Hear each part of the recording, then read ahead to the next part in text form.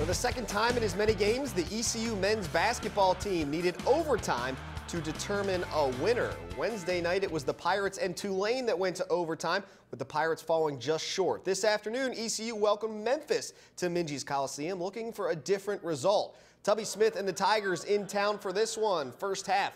On the defensive end, it's Kentrell Barkley coming up with the steal. Barkley headed the other way. He finishes with the big dunk. He would score his 1,000th career point.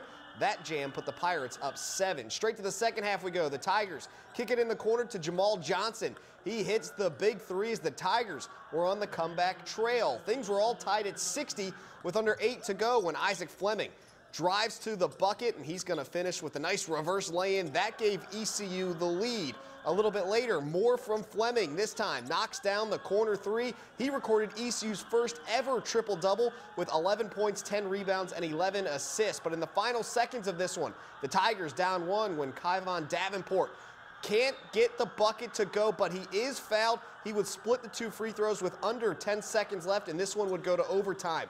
In the OT, Shawn Williams took over, hits the big three here. The redshirt freshman finished with a career high 30 points as ECU holds on to win in overtime. 88-85 was that final score. We um, took pride tonight in the game, and we kind of believed in each other and had a little bit more confidence after coming off the loss. And um, I mean, we just tried to stay focused. We went through adversity on the court, as you can see, but we just tried to keep the guys calm and just play power basketball. And that's just playing together and doing what we do.